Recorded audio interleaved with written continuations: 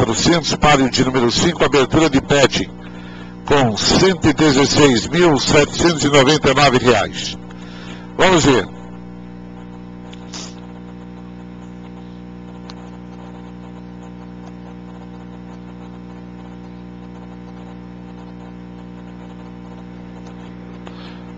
Tudo pronto. Atenção, partida para o clássico presidente João Tobias de Aguiar. O betting começa aqui.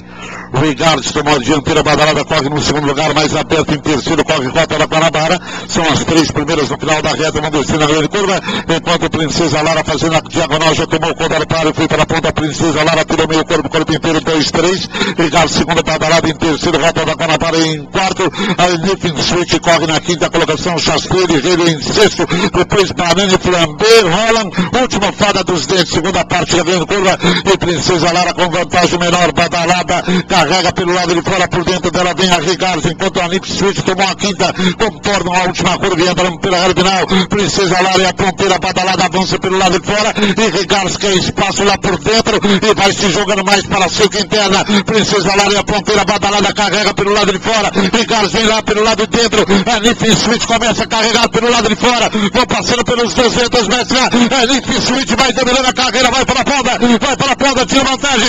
Enquanto o Banana Flamengo carrega badalada a segunda, Banana Flamengo em terceiro, Banana Flamengo carrega, Chastri de ganho melhora, Chastri de ganho toma a segunda, cruza na faixa final.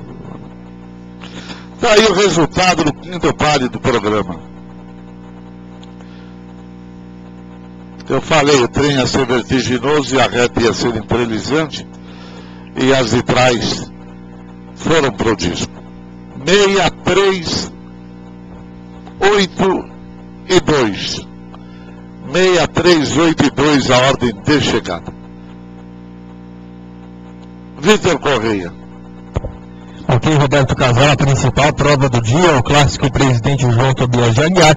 Na N-Team Suite a sua vencedora, ela que se deu muito bem aqui em Cidade Jardim, sob os cuidados do José Luiz Aranha, e recebeu hoje uma condução primorosa do Marcelo Gonçalves, correu longe de qualquer briga na primeira parte da competição, acionando até mais acomodada do que das outras vezes, e quando solicitada ali a partir dos 300 finais, passou feito um bólido pela Badalada, que pagou um preço muito alto por brigar com o Igades, Rota da Guanabara e principalmente Princesa Lara na primeira colocação, e no finalzinho nem mesmo a carga da Chester de Reiro ou mesmo da Banana Flambé foi capaz de pôr